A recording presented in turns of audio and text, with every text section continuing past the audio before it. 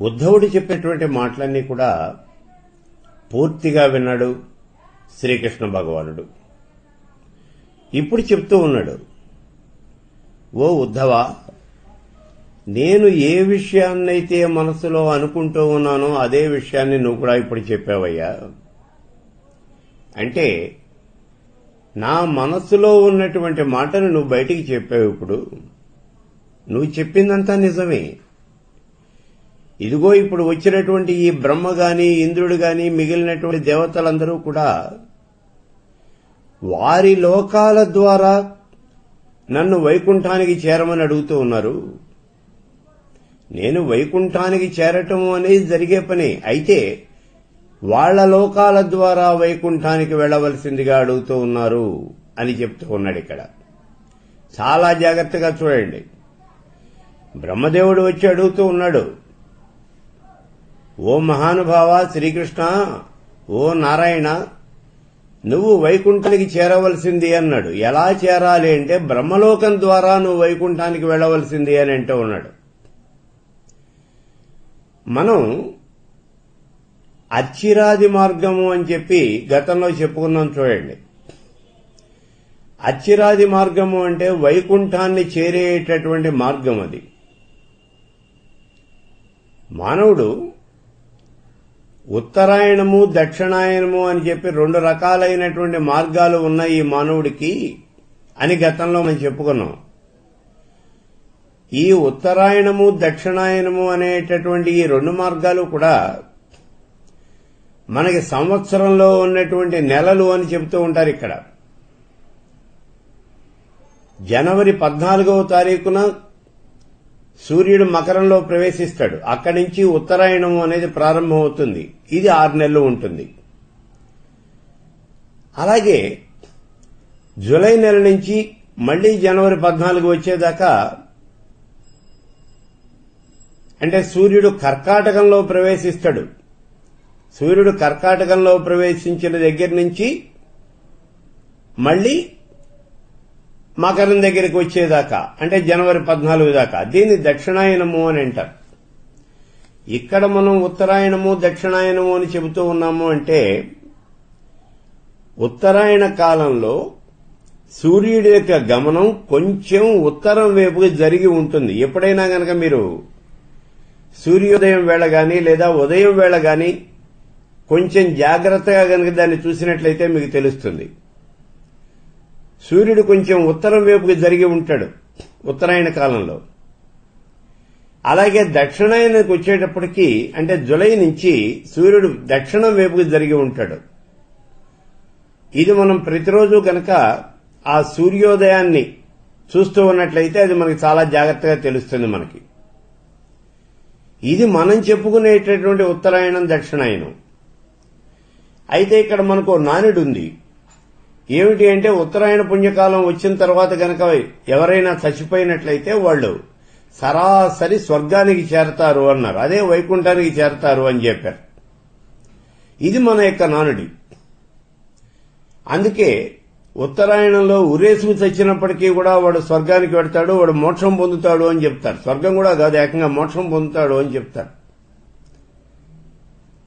ఇక్కడ ఈ విషయాలు మనం చెప్పటము అనేటటువంటిది ఏమిటంటే అంటే కొంతవరకు మనకు ఆ విషయాల గురించి పూర్తిగా అవగాహన అనేది లేకపోవటం.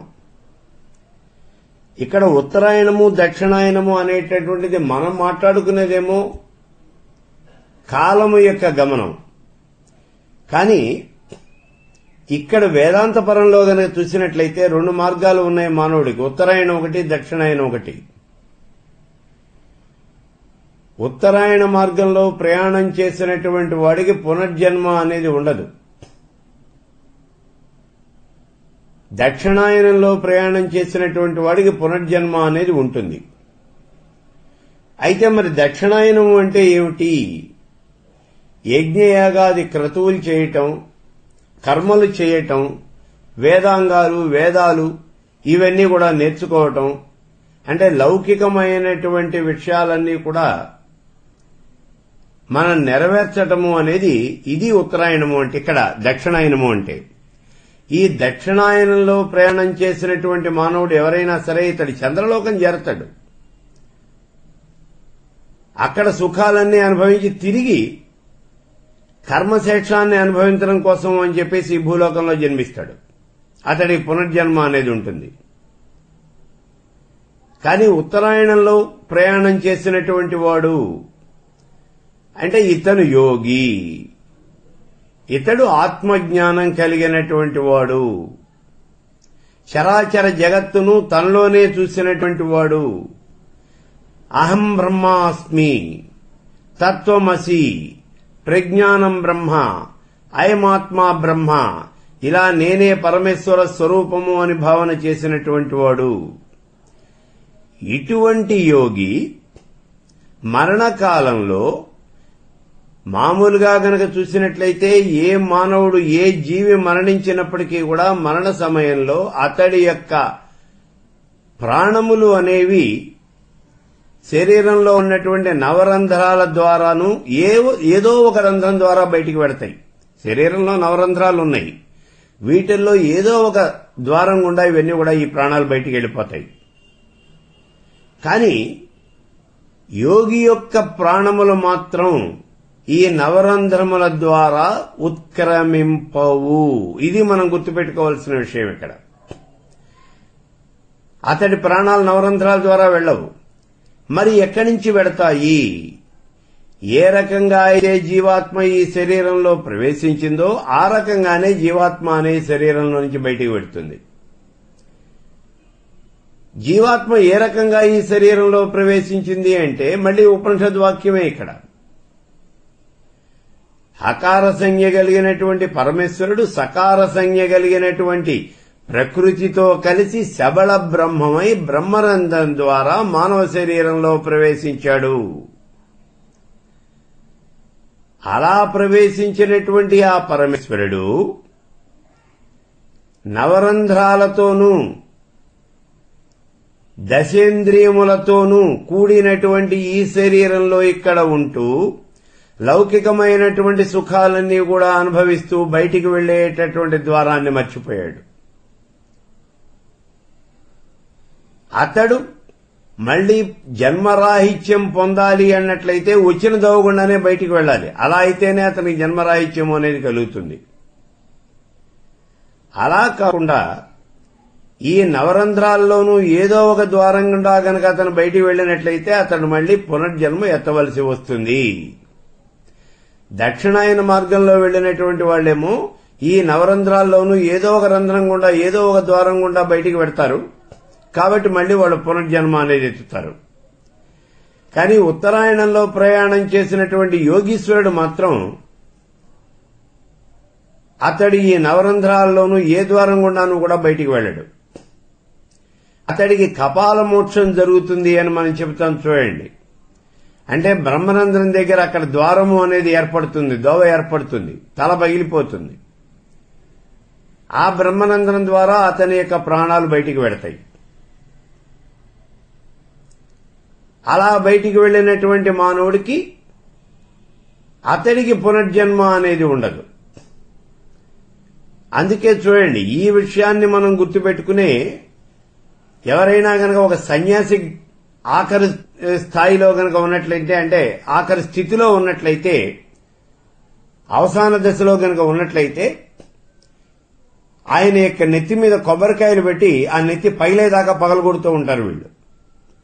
అంటే ఆ బ్రహ్మరంధ్రం గుండా అతని యొక్క జీవాను బయటికి వెళ్ళాలి అని. మనం కొట్టినంత మాత్రం చేత బ్రహ్మరంధ్రం గుండా అతని యొక్క ఆ జీవాత్మ అనేది బయటికి వెళ్ళదు. వెడుతుంది అని మనం అనుకుంటాం అంటే అలా వెళ్ళాలి అనేటటువంటి కోరికతో ఆయన నెత్తి పగిలేదాకా కొడుతూ ఉంటాం మనం. రక్తం వరదలై కారుతూ ఉంటుంది కానీ వీళ్ళు మాత్రం వదిలిపెట్టాలి. ఆ కొబ్బరికాయలు మాత్రం ఆయన నెత్తిని కొడుతూనే ఉంటారు. ఆ నెత్తి పగిలేదాకా కొడతారు. ఇవన్నీ కూడా మన యొక్క అజ్ఞానంతో మనం చేసేటటువంటి పనులు ఇవి. అయితే ఇక్కడ మనం గుర్తుపెట్టుకోవాల్సింది ఏమిటి అంటే యోగి అయినటువంటి వాడి యొక్క ఈ ప్రాణాలన్నీ కూడా ఆ జీవాత్మ అనేది నవరంధ్రాల ద్వారా వెళ్ళకుండా బ్రహ్మరంధ్రం ద్వారా బయటికి వెడుతుంది అన్నాం. అంటే అతనికి కపాల మోక్షం అనేది జరుగుతుంది. అయితే ఇలా వెళ్ళినటువంటి ఈ జీవాత్మ యోగి యొక్క జీవాత్మ ఇప్పుడు ఆ పరమేశ్వర స్వరూపాన్ని చేరటానికి వెడుతుంది ఆ పరమేశ్వర స్వరూపాన్ని చేరడానికి ఎలా వెడుతుంది అని అంటే ఇదంతా కూడా ఈశావాస్యంలో చెప్పాడు చూడండి మళ్ళీ మనకి. ఆ బ్రహ్మలోకానికి తలవాకిలి అనేది ఏమిటి అంటే సూర్యబింబం. ఆ సూర్యబింబాన్ని ప్రార్థిస్తాడు. ఓ పరమేశ్వర స్వరూపమా నేను ఆ వాకిలిలో ఆ సింహద్వారంలో ప్రవేశించాలి ఇప్పుడు బ్రహ్మలోకానికి నేను బయలుదేరాను. నువ్వు కొన్ని వేల కోట్ల సూర్యుల యొక్క కాంతితో ఆ వాకిని కాస్త కప్పివేశావు నువ్వు. కాబట్టి నీ కాంతిని కొద్దిగా ఉపసంహరించుకున్నట్లయితే నేను ఆ వాకిట్లో ప్రవేశిస్తాను ఆ తలవాకిల సింహద్వారంలో ప్రవేశిస్తానయ్యా. అక్కడి నుంచి బ్రహ్మలోకానికి నేను బయలుదేరి వస్తాను అని చెప్పేసి ఈయన ప్రార్థిస్తాడు. అలా వచ్చినటువంటి అప్పుడు ఆ పరమేశ్వరుడేమో తన కాంతిని ఉపసంహరించుకుంటాడు.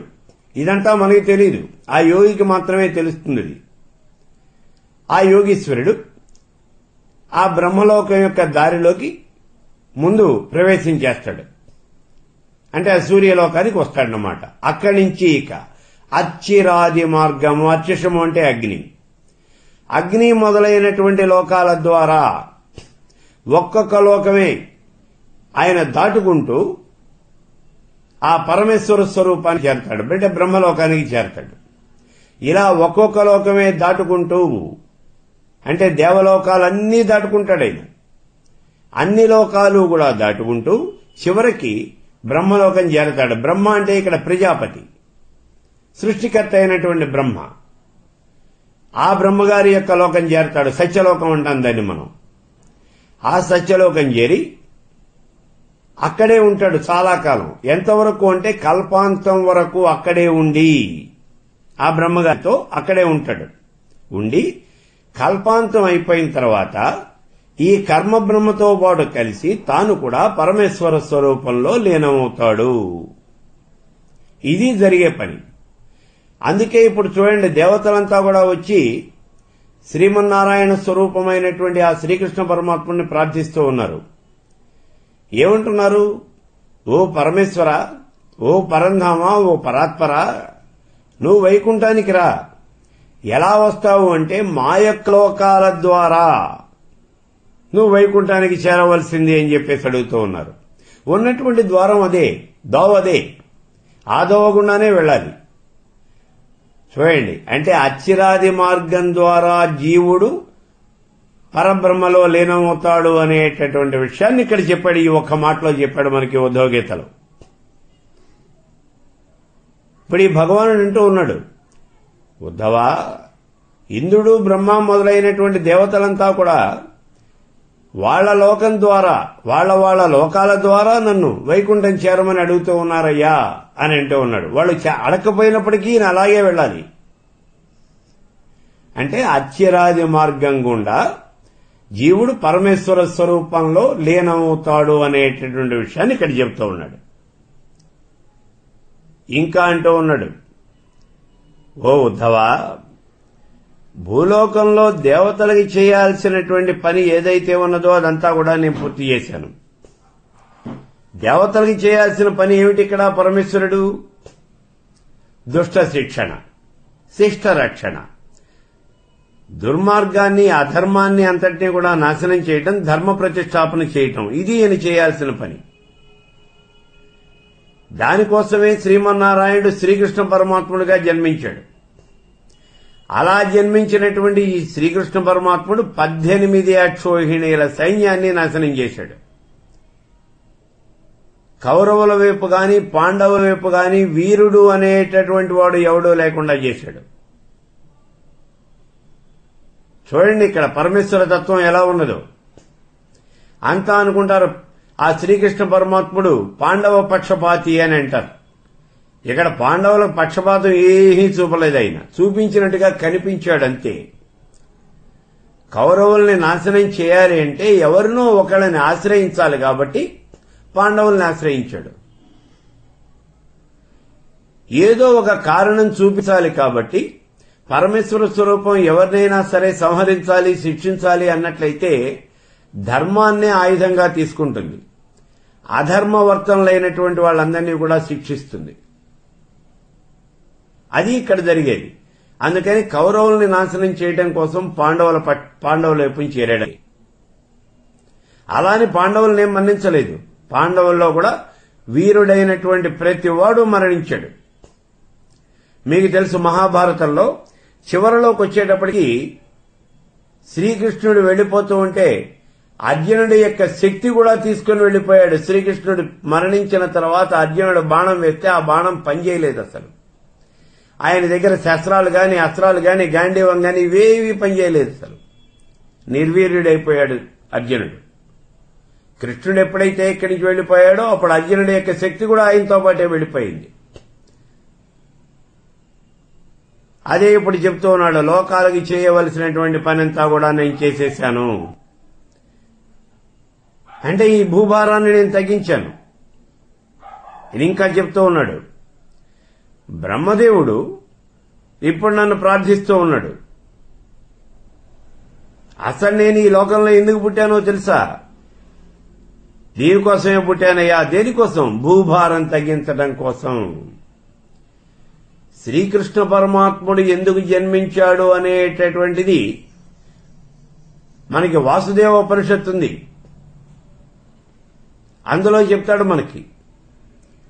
శ్రీకృష్ణ పరమాత్ముడు ఎందుకు వచ్చాడు అంటే ఈ భూలోకంలో మహాబలవంతులైనటువంటి వాళ్ళంతా కూడా జన్మించారు ఒకడు కాదు.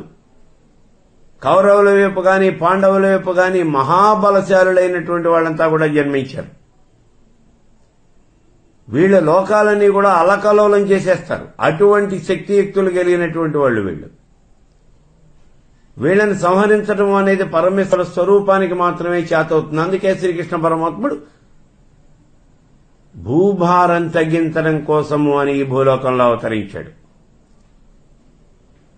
ఆయన వస్తూ వస్తూ బలరాముడిని కూడా వెంట తెచ్చుకున్నాడు. అదే అంటూ ఉన్నాడు నేను బల బలరాముడితో సహా ఆయనతో కలిసి ఈ లోకంలో అవతరించాను. సరే ఇప్పుడు వచ్చిన పని అయిపోయింది. బ్రాహ్మణుల శాపం పెట్టారు. ఈ బ్రాహ్మణుల యొక్క శాపం వల్ల యదువంశము అనేది పూర్తిగా నాశనం అయిపోతుంది ఎందుకనంటే కౌరవ పాండవులను ఇద్దరిని కూడా నాశనం చేశాడు. కానీ ఈ యదువంశంలో ఉన్నటువంటి వీరులు వీళ్ళెవరూ నాశనం కాల. అందుకని ఇప్పుడు అంటూ ఉన్నాడు ఆ యదువంశంలో ఉన్న వాళ్ళు కూడా నాశనం అయిపోతారు ఎందుకనంటే దానికి ఈ మునీశ్వర్ల యొక్క శాపం అనేది ఉన్నది. యాదవ కులానికి ముసలం పుట్టింది. దానివల్ల వీళ్ళు కూడా చచ్చిపోతారయ్యా ఇంకే ఇబ్బంది లేదు. యదువంశం కూడా పూర్తిగా నాశనం అయిపోతుంది. ఓ ఉద్ధవ ఇవాళ నుంచి ఏడు రోజులు గడువు ఉంది నీకు. సరిగ్గా ఏడో రోజున ఈ సముద్రం అంతా కూడా ఒక్కసారి ఉవ్వెత్తున పొంగి మనం ఉంటున్నటువంటి ఈ ద్వారకా నగరాన్ని పూర్తిగా ముంచేస్తుంది.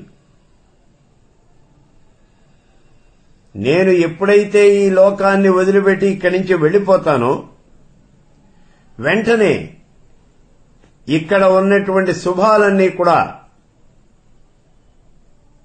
కనిపించకుండా పోతాయి. అంటే అన్ని అశుభాలే జరుగుతాయి ఇక. నేను ఉన్నాను కాబట్టే ఇక్కడ ధర్మం అనేది ప్రతిష్ఠించబడి ఉన్నది. నేను ఇక్కడి నుంచి వెళ్ళిపోయాను అంటే అధర్మం అనే తాండవం చేస్తుంది ఇంకేముండదు నేను వెళ్ళిపోయినటువంటి అతి కొద్ది కాలంలోనే కలిపురుషుడు ప్రత్యక్షం అవుతాడు ఇక్కడ. కలి ప్రవేశించేస్తాడు. ఇక కలియుగంలో ఎలా ఉంటుంది అంటే లోకంలో ఉన్నటువంటి జనులంతా కూడా ఆధర్మ పరులై ఉంటారు. ఇవాళ మనం ప్రత్యక్షంగా చూస్తున్నాం చూడండి.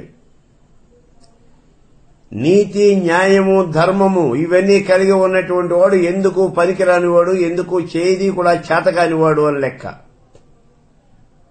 కలియుగ ధర్మం అది. అధర్మపరాయణులైనటువంటి వాళ్ళే చాలా గొప్పవాళ్ళుగా కీర్తించబడుతూ ఉంటారు. ఓ ఉద్ధవా ఈ కారణం చేత నేను ఉండనటువంటి ఈ భూమి మీద నువ్వు కూడా ఉండకూడదు. నువ్వు నీ స్నేహితుల్ని నీ బంధువుల్ని వీళ్ళందరినీ కూడా వదిలిపెట్టేసేయి. నా మీద అమితమైనటువంటి ప్రేమను కలిగి ఉండు. నా మీదే మనస్సును లగ్నం చేయి. అలా లగ్నం చేసి సమభావంతో స్వచ్ఛందంగా ఈ భూమి మీద విహరిస్తూ ఉండు. మనస్సు మాట కళ్ళు చెవులు ఈ ఇంద్రియాల చేత గ్రహించబడేటటువంటి ఈ ప్రపంచమంతా కూడా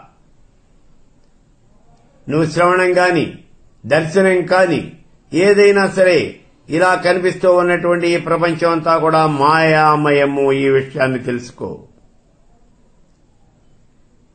ఎవరైనా సరే విక్షేపానికి గురి అయినటువంటి మనస్సు గనక కలిగి ఉన్నట్లయితే అది అనేక రకాలైనటువంటి వస్తు విషయాలైనటువంటి ఆ భ్రమ ఇది కలుగుతుందయ్యా.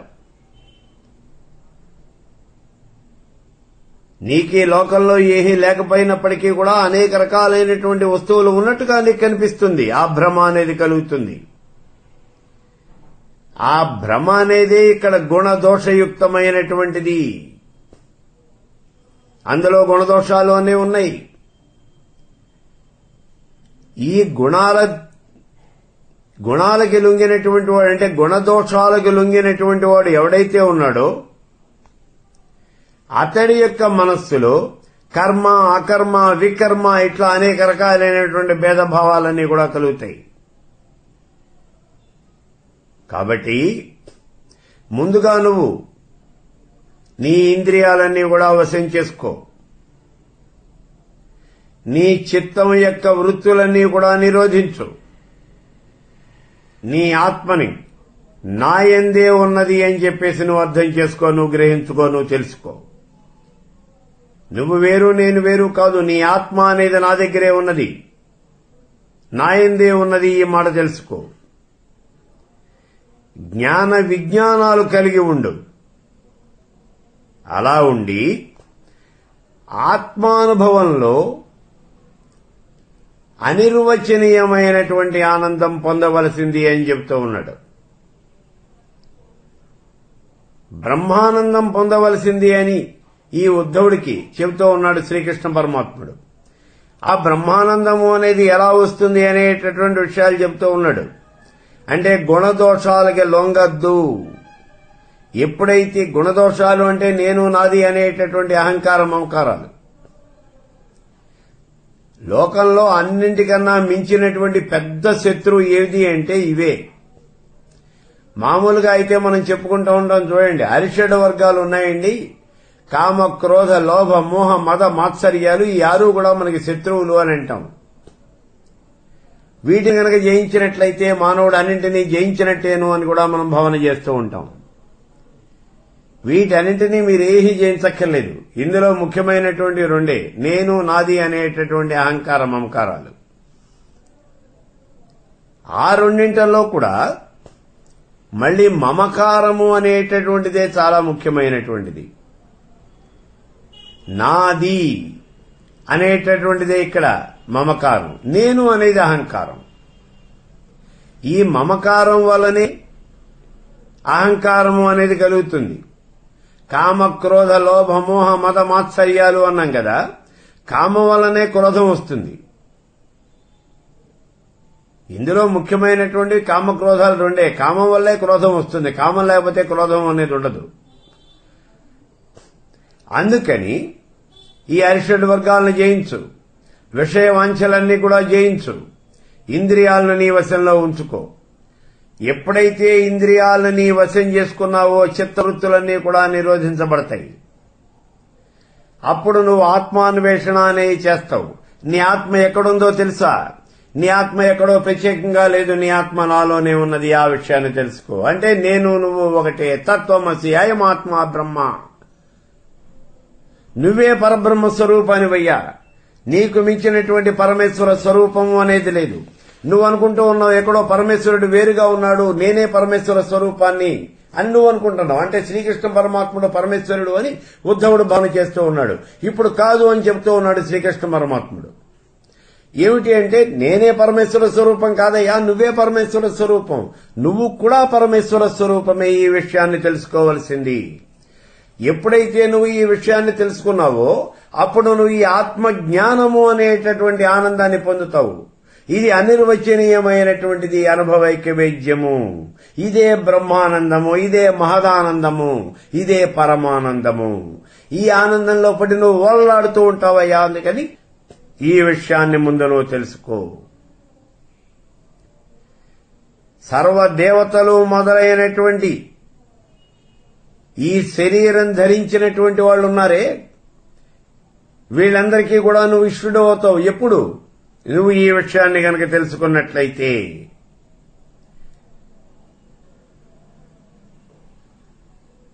నువ్వు గనక అలా తెలుసుకున్నట్లయితే నీకు ఎటువంటి విఘ్నాలు రావు.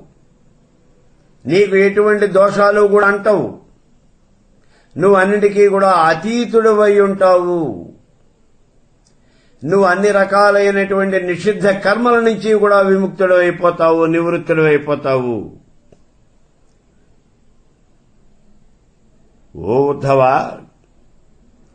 నువ్వు ఏదైనా గనక ఒక పని చేయనక చేసినట్లయితే గుణబుద్ధితో అంటే ఏదో ఒక గుణంతో మాత్రం నువ్వు ఆ పని చేయవు.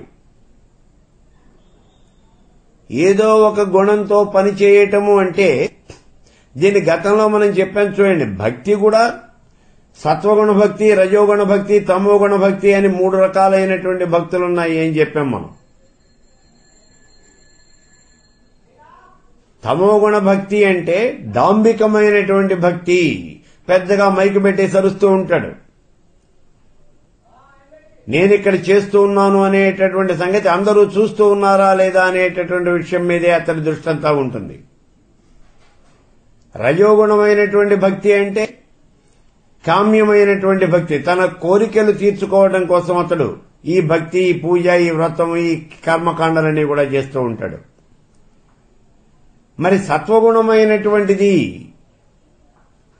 ఇందులో మోక్షాన్ని పొందాలి అనేటటువంటి కోరిక అనేది ఎక్కువ ఉంటుంది అతడికి. అయితే ఇది కూడా ఇబ్బందికరమైనటువంటిదే. ఈ కోరిక కూడా ఉండదు. కోరికలకు అతీతంగా ఉండాలి అని చెప్తూ ఉన్నాడు. అలా అతీతంగా ఉన్నటువంటి వాడు మాత్రమే మోక్షం పొందగలుగుతాడు అని చెప్తూ ఉన్నాడు. ఇలా అన్నింటికీ అతీతంగా ఉన్నటువంటి వాడు అన్ని భూతాలకి కూడా మిత్రుడైపోతాడు. అందుకే మనం చెప్తాం చూడండి ముని ఆశ్రమంలో లేడీ పులి రెండు కూడా కలిసి విహరిస్తూ ఉన్నాయి అని అంటాం మనం. ఇవి మనం చాలా చోట్ల చదువుతాం. మనం అనుకుంటాం ఆ ముని ఆశ్రమంలో మాత్రమే ఇలా జరుగుతుంది అని. కాదు ఎక్కడైనా జరుగుతుంది. మనం ఎప్పుడైతే శాంత గుణాన్ని అలవరుచుకున్నామో మిగిలినటువంటివి ఏమీ ఉండకూడదు మనకి. మన యొక్క శక్తి మన పరిసరాల్లో కూడా ప్రసరిస్తుంది. ఈ ప్రాంతంలో ఉన్నటువంటి వాళ్ళు కూడా అలాగే విహరిస్తూ ఉంటారు. అందుకే ఇక్కడ ఈ లక్షణాలు కలిగినటువంటి వాడు అన్ని భూతాలకి కూడా మిత్రుడైపోతాడు. అతడు శాంతుడు జ్ఞాన విజ్ఞాన నిశ్చయుడు అయినటువంటి పురుషుడు. ఈ చరాచర జగత్తంతా కూడా నా స్వరూపమేను అని అతడు తెలుసుకోగలుగుతాడు. ఈ కారణం వల్లనే అంటే చరాచర జగత్తంతా కూడా పరమేశ్వర స్వరూపమే అని తెలుసుకోగలిగాడు. కాబట్టి అతడికి పునర్జన్మ అనేది ఉండదు అంటే జీవన్ మరణ చక్రంలో అతడు మళ్ళీ తగులుకొనడు. అతడికి పునర్జన్మ అనేది ఉండదు జన్మ రాహిత్యము అనేది కలుగుతుందయ్యా అని చెప్పాడు.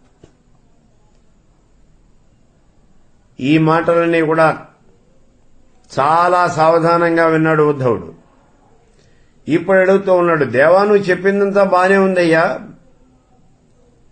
నువ్వు సామాన్యుడివి కాదు యోగులకే యోగీశ్వరుడు నువ్వు. నువ్వు యోగీశ్వరుడికి కూడా ఆధారమైనటువంటి వాడివి. నువ్వు మా శ్రేయస్సు కోసం సన్యాస లక్షణమైనటువంటి త్యాగాన్ని చెప్పావు అని అంటూ ఉన్నాడు చూడండి ఇక్కడ త్యాగం చేయమని చెప్పాడు. త్యాగం చేయటం అనేది మామూలు మానవుడి లక్షణం కాదు సన్యాసాశ్రమం తీసుకున్నటువంటి వాడి లక్షణం. కాబట్టి సన్యాసి చేయవలసినటువంటి లక్షణాలు అతనికి ఉండవలసినటువంటి లక్షణాలన్నీ కూడా మమ్మల్ని సంపాదించుకోమని చెబుతూ ఉన్నావు త్యాగం చేయమని చెబుతూ ఉన్నావు. కానీ ఇక్కడ విషయం ఏమిటి అంటే ఈ లోకంలో పుట్టినటువంటి వాడు విషయవాంఛల్ని ఈ కోరికలు ఇవన్నీ కూడా వదిలిపెట్టడం అనేది చాలా కష్టం. విషయవాంఛలు అనే ఒక బట్టాన పోవు. ఇది అజ్ఞానం కదా. ఈ అజ్ఞానం అనేది నీకు ఇవాళ రాలేదు. నీ తాత ముత్తాతల నుంచి నీకు వంశ పరంపరగా నీకు వచ్చింది ఈ అజ్ఞానం. కాబట్టి ఆ అజ్ఞానంలోంచి బయటికి రావటం అనేది తేలికైనటువంటి పని కాదు. అందుకే ఇక్కడ ఈ విషయవాంఛలలో నుంచి అక్కడ ఏమీ లేదు అని తెలిసినప్పటికీ కూడా ఏదో ఉన్నది అని పరిగెడతాం. ఎందుకని అంటే ఇదే అజ్ఞానం. అందులో నుంచి బయటికి రావడం అనేది తేలికైనటువంటి పని కాదు. అందులో కూడా భగవంతుని మీద నమ్మకం లేనటువంటి వాళ్ళు భక్తి లేనటువంటి వాళ్ళు ఈ సంసార లంపడంలోంచి బయటికి రావటం అనేది అసంభవం. ఇలా నేను భావిస్తూ ఉన్నాను. అసంభవము అని నేను అంటం లేదు కానీ నేను అనుకుంటూ ఉన్నాను అంతే శ్రీకృష్ణ పరమాత్మ నేను మూర్ఘుణ్ణి. నేను మూఢుణ్ణి. నాకేం తెలియదు నేను అజ్ఞానిని నాకు ఏమీ తెలియదు మాయాకల్పితమైనటువంటి దేహంతో నేను నాది అని నేను భావన చేస్తూ ఉన్నాను ఇంతవరకు. అంటే అహంకారం మమకారాలు రెండు కూడా నాకున్నాయి. నువ్వు ఉపదేశించినటువంటి ఈ సన్యాస లక్షణాన్ని అనుసరించే విధంగా ఆ విషయాలన్నీ కూడా అంటే ఆ సన్యాస లక్షణాలన్నీ అనుసరించేటందుకు వీలుగా ఇవన్నీ కూడా నాకు వివరంగా చెప్పవలసింది అని అడుగుతూ ఉన్నాడు. ఇంకా అంటూ ఉన్నాడు ఓ పరమేశ్వర స్వరూపమా నువ్వు సత్యస్వరూపుడివి స్వయం ప్రకాశుడివి. ఆత్మతత్వాన్ని చెప్పడానికి నీకన్నా ఇంకా గొప్పవాళ్ళు పెద్దవాళ్ళు చేసినటువంటి వాళ్ళు ఎవరూ కూడా లేరు. ఈ జగత్తులో బ్రహ్మ కూడా బ్రహ్మాది దేవతలు కూడా బ్రహ్మ మొదలైనటువంటి వాళ్ళు కూడా నీ యొక్క మాయలో పడిపోయినటువంటి వాళ్ళే వాళ్ళ యొక్క బుద్ధి అనేది మాయకు వశమై ఉంటుంది. అందరూ కూడా మాయకు బద్దులై ఉంటారు. కాబట్టి భార్య పుత్రులు ఇలాంటి ఈ బాహ్య విషయాలున్నాయి చూడు సిరి సంపదలు భోగభాగ్యాలు ఇవే పరమార్థము అని చెప్పేసి ఈ లోకంలో ఉన్నటువంటి జనులంతా కూడా భావన చేస్తూ ఉన్నారు. నేను దుఃఖతప్తున్నై ఉన్నాను వైరాగ్యయుక్తున్నై ఉన్నాను ఇక నువ్వా సర్వజ్ఞుడివి శాశ్వతమైనటువంటి వైకుంఠంలో నివసించేటటువంటి నారాయణుడివి నువ్వు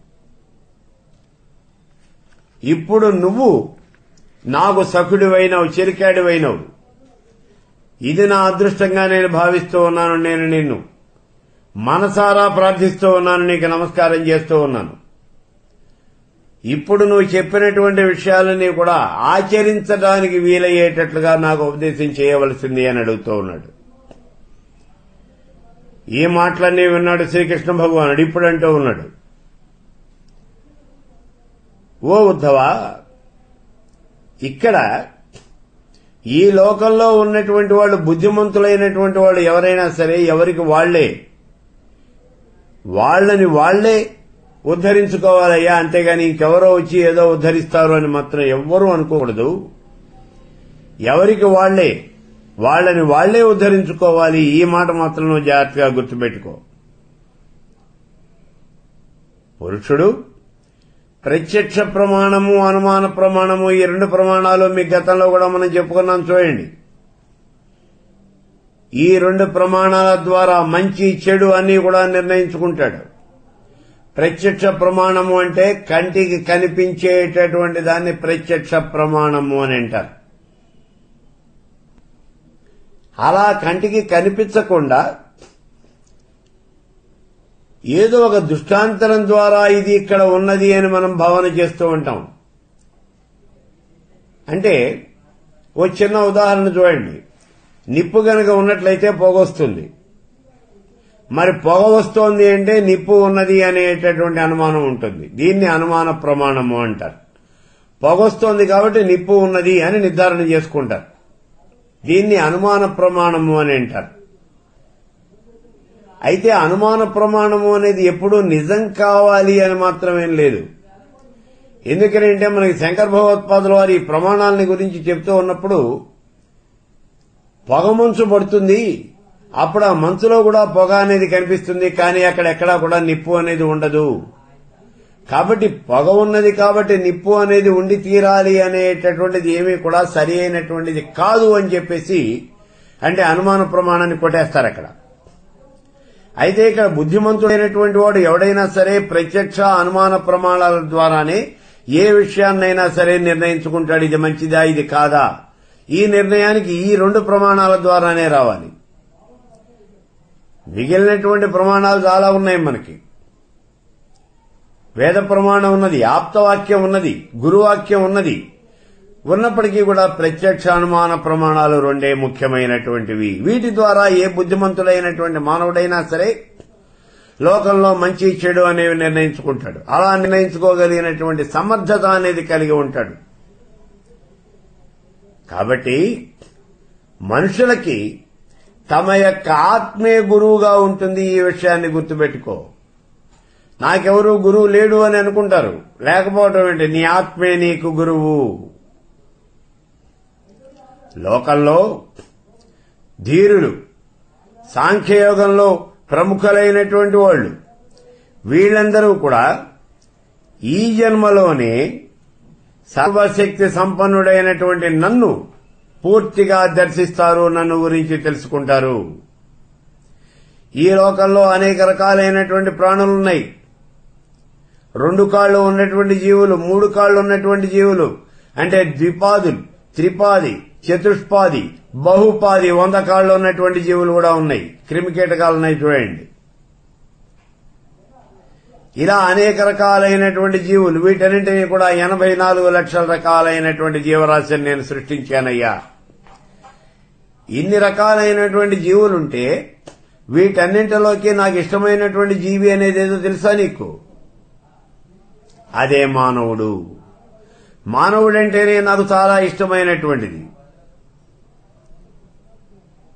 ఎందుకని అంటే మానవుడికి ఆలోచనా శక్తి అనేది ఉన్నది. మిగిలినటువంటి ఏ జీవికి కూడా ఆలోచనా శక్తి అనేది విచక్షణ జ్ఞానము అనేది లేదు. అందుకే ఇక్కడ ఈ పరమేశ్వరుడు అంటూ ఉన్నాడు మానవుడంటేనే నాకు చాలా ఇష్టమయ్యా అని చెప్తూ ఉన్నాడు. అతడే నాకు అత్యంత ప్రియుడు. నా స్వరూపము అనేది కంటికి కనిపించకపోయినా జీవులు తమ యొక్క బుద్ధి బలంతో అనుమాన బలంతో ప్రకాశ స్వరూపుణ్ణైనటువంటి నన్ను అన్వేషిస్తూ ఉంటారు. ఈ విషయంలో నీకు చిన్న ఉదాహరణ చెప్తాను విను. గతకాలంలో అవధూత యదుమహారాజు వీళ్ళిద్దరి మధ్యన ఒక సంభా ఒక సంవాదము అనేది జరిగిందే ఒక సంభాషణ జరిగింది.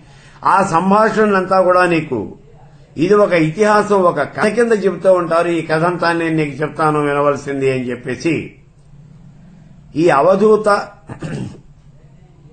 యదుమహారాజు వీళ్ళ మధ్యన జరిగినటువంటి ఈ సంభాషణ దీన్ని చెప్పడానికి ఉద్యుక్తులవుతూ ఉన్నాడు శ్రీకృష్ణ పరమాత్ముడు.